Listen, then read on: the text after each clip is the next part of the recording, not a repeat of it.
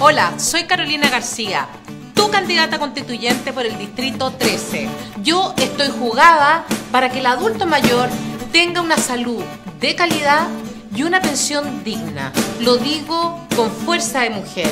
Este 15 y 16 de mayo, vota XP16 Carolina García, tu constituyente en el Distrito 13. Acompaña a Carolina García en este desafío y escribamos un nuevo Chile para todos.